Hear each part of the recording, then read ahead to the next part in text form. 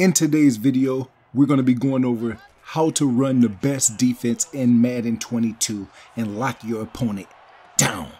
Drop a like, let's go.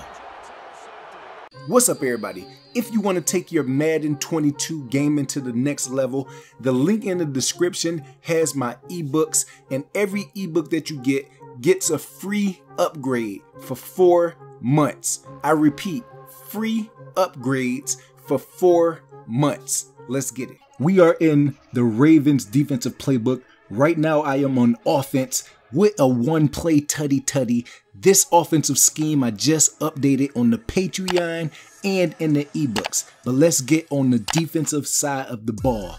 I am in the nickel 245. Anytime it is less than four wide receivers, I like to run cover four match. Now, one key thing that I would do is man up the running back 60 to 70% of the time. He's in strong close, so this defense matches perfectly. As you can see, every receiver is guarded down the field. Put acrobat on your cornerbacks and you can make diving plays. Gun doubles offset. This is a two by two set.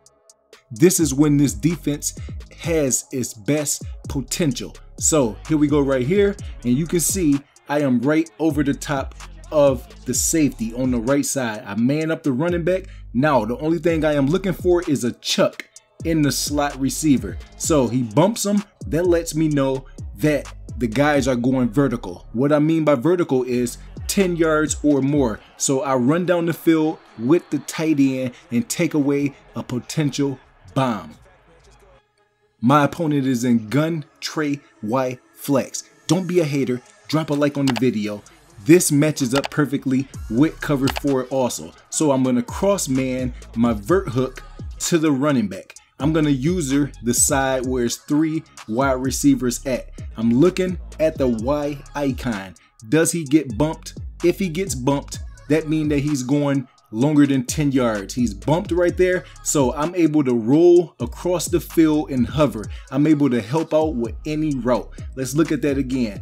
Once he gets bumped, in that slot receiver that lets me know that guy is going vertical. Okay, so I'm able to hover with my user across the field. He had two streaks on the left side of the field, and one guy was able to cover two routes. Now, here we go right here in a small formation again. He does a play action, no bump at the line of scrimmage, so that lets me know he's going to get picked up by the strong safety and I'm able to run around and lurk across the field. We're going to look at that one more time. As you can see, you get a little sticky and you get an easy interception. Now, when they start throwing slants and all that, everybody is going less than 10 yards. That's when you want to make sure that you have a good user. Don't over pursue. So here we go right here small formation, bringing my safeties down. He's running the ball. Make sure that you have your inside stuff for only one AP and you can be successful. So I'm watching if he's bumped in the slot. He doesn't get bumped right there. He's running slants.